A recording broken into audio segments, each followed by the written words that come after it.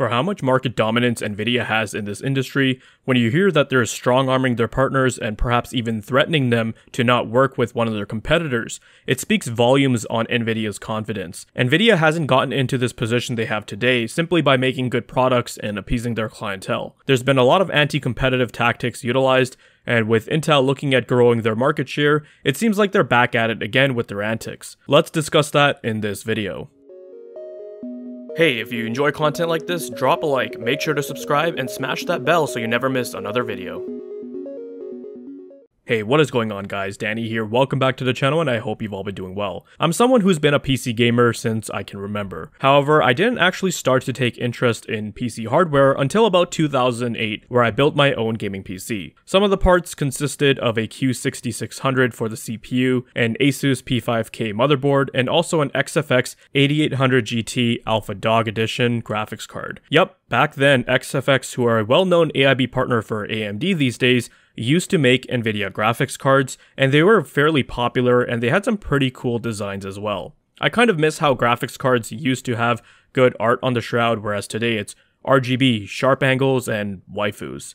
Maybe I can overlook that last one, but that's besides the point. Now you might be wondering what happened. Why isn't XFX still making Nvidia GPUs? Well, the reason for that is simple. Nvidia got mad at XFX. In 2009, XFX had decided to broaden their portfolio products by making ATI slash AMD graphics cards. This was a move that many PC gamers back then were happy to hear about, as this would give them more options to choose from in this growing market. Nvidia didn't like this at all, and a year later decided to give XFX the axe by deauthorizing them from their list of approved partners and didn't send them any new Fermi chips, which were supposed to be used for their GTX 400 series the following year. Not only that, but Nvidia had encouraged other channel partners to stop working with XFX. XFX at that point had no choice but to move on and focus on their AMD products. Back then, people looked at this as a very stupid move by Nvidia. XFX were huge back then, and while they're still very much a relevant brand today, they just had a different type of following when they were producing NVIDIA GPUs. AIBs assist these GPU manufacturers in helping them actually deliver their products to the market. When NVIDIA made this move to cut off XFX, they thought that this was going to hurt NVIDIA pretty badly. Clearly, that didn't affect them as bad as people thought it would, if at all. The same way people thought EVGA exiting out of the GPU market last year would have an effect on sales for the 40 series. While sales for the 40 series aren't as great as Nvidia would like them to be, it's not because people are sad that EVGA doesn't make GPUs anymore and therefore people are boycotting Nvidia. The reason why I bring this up is because of this rumor that has surfaced on the web, which I've been wanting to discuss with you guys for a while now. This was posted on VideoCardz website where their sources claiming Nvidia is not too thrilled about AIBs working with Intel for for the next generation graphics cards. Now I say rumor and of course you should take it with a grain of salt,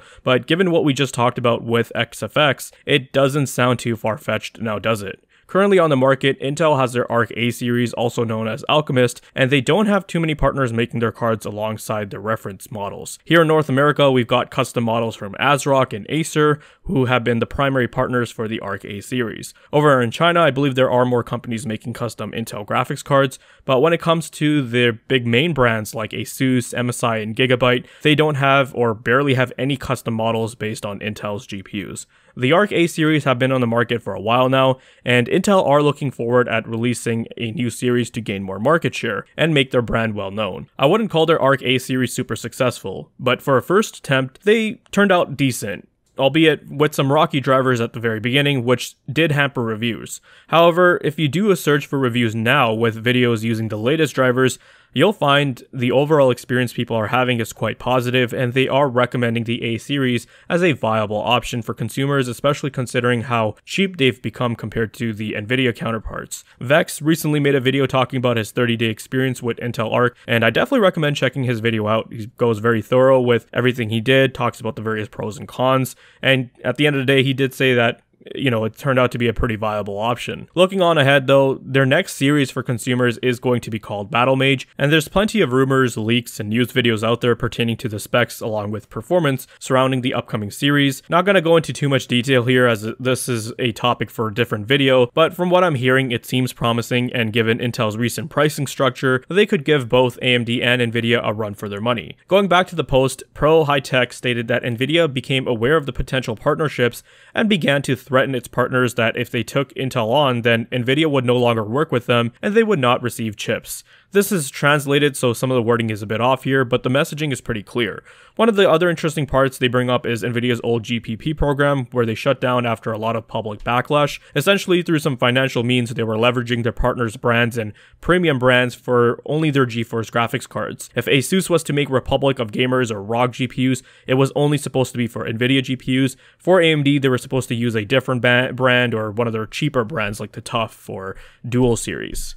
The thing is, Nvidia seems to treat their partners like absolute garbage, and it's one of the reasons why EVGA said they were done making GPUs because they no longer wanted to be treated as some tool by Nvidia and wanted to be treated more like an actual partner. Nvidia doesn't just dominate the market by appeasing gamers through offering great performance and cool software. They rule the market with an iron fist. If you want to know more, then I highly recommend checking out this older video from AdoredTV that's still very much relevant today, where he goes through a whole history of Nvidia's anti-competitive tactics they've used in the market basically since their inception in the industry. But going back to the topic on hand, this is a very interesting situation we've got on our hands because Intel are actually looking to compete in the market. I've given up on AMD because it's clear they're content with just following NVIDIA's lead, and Lisa Su has publicly stated their priority now is in the AI and data center, so they don't care either. With Battlemage, Intel are looking at bringing more powerful products to the market in the hands of consumers, and a lot of people are anticipating them, myself included, and I could see Nvidia feeling a bit threatened here. Near the launch of the RTX 40 series, Nvidia CEO said that the era of cheap GPUs is gone, and Moore's Law is dead, only to do a 180 on that last part during Computex. Moore's Law is probably currently running at about two times. A thousand times in five years. But to their first point, shortly after Intel released Arc, their pricing structure wasn't terrible, but given how rough performance was at launch and reviewers couldn't recommend them, it just didn't seem worth it at the time, even for the lower prices they were charging compared to Nvidia. However, the fact of the matter is, is what Intel did directly did contradict what Nvidia CEO said. Plus, on the flip side though, given how fast they were able to turn the ship around, I'm confident that th- with their next iteration, Battlemage, we should hopefully get a much more polished product that won't have nearly as much problems as the A series did. Given what we've heard so far pertaining to specs and, you know, if they remain competitive, they'll have a good shot at making a dent in the stronghold established by Nvidia. Along with that, if Intel does make a good product, then AIBs will want to make cards for them as well. In fact, Intel already has a pretty good partnership established with a lot of these major brands because they make motherboards for them. The situation now in the landscape of this market is different compared to what it was back in 2010. Brands like MSI, Asus, and Gigabyte are simply too large for Nvidia to go, well, we're just going to completely cut you off. While Nvidia would love to do just direct sales and get rid of the middleman, which is the AIBs in this case, they simply can't because they're not in a position to scale their operations to such a wide degree. Hence, they're reliant on AIBs to make sure their product reaches a wider user base. Intel is in the same position, and with the help of AIBs, they can ensure the products get in the hands of many consumers as possible. This will create more competition in the market, which is something Nvidia doesn't want. At this point, you reap what you sow, and Nvidia, you've shot yourself in the foot this time. I know some people will state that this is just business and Nvidia can do whatever they want and whoever they choose to send chips to. And you're right. However, if you're so concerned with this, then you should simply focus on delivering a good product, one that people will actually want instead of resorting to anti competitive and anti consumer practices. There were also some rumors recently surrounding the upcoming RTX 4060 Ti 16GB. This card is apparently set to release on the 18th of July, which is in a couple days. And according to Hardware Unboxed, Nvidia isn't going to be sending out review samples to the press, and even their partners have said they won't be seeding samples to the press. It seems like they want to quietly release this product, and the only reason for this is because both Nvidia and their partners know how much of a shit product this is and want to avoid bad press at this point. If it was actually a good GPU, then you'd see them make a lot of noise about it. If you go back and take a look at reviews for the 4060 series, they're absolutely atrocious. This would have been the third time in a row where reviewers would have just trashed Nvidia for releasing a garbage product, and rightfully so, but then their partners also get ca- caught up in that crossfire. Who in their right mind would go out and purchase an RTX 4060 Ti 16GB when you can find an RX 6800 for cheaper, a card that is much faster and will actually be able to utilize that VRAM? You know it's bad when board partners themselves are coming out and stating we have no interest in promoting this garbage. Around the time when the 4070 Ti was coming out, I had an AIB reach out to me and ask if I wanted to review one of their models. While I'm always open to testing, I told them up front that it's a product I'm not enthusiastic about, and you can most certainly expect quite a bit of negativity from the review. Which shouldn't even matter. At the end of the day, a review is open, like you say whatever you want, good or bad. It's you're giving feedback for the product. But since then, I haven't really heard back from them. The margins that these AIBs have on these cards is very slim. They're not the ones making the chips, that's Nvidia, so they're trying to do whatever it is to avoid the bad press. It really just comes down to Nvidia not only screwing themselves over, but everyone else in the process the partners and consumers. All in all, I think Intel joining the discrete gaming GPU market was one of the best things to happen in this industry because we desperately needed some real competition. Nvidia doesn't even recognize AMD as a viable player, but Intel are different, and I think with Battlemage, this has gotten Nvidia spooked. It's baffling because you have Nvidia who are well known in the market. If they actually delivered a 4060 that had appropriate specs and wasn't so overpriced, then people would buy their GPUs and they wouldn't have to worry about competition. They're already well established. This is what happened when the Arc A series came out. When Intel was having a rough time at the start, people said that, hey, this is interesting, but